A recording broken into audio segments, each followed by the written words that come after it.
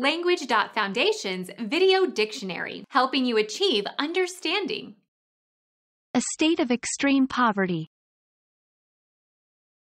Deprivation, neediness, want.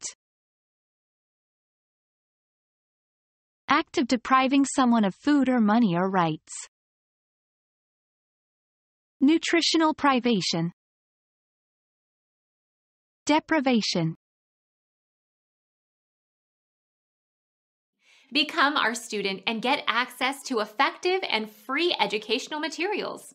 Subscribe to our channel to become a part of our growing community and to learn English effectively.